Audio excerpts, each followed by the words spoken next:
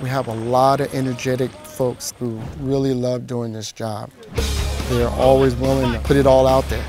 When we show up, we're there to do a good job and work hard for them. The rest of you guys are starting from the road. We're on time.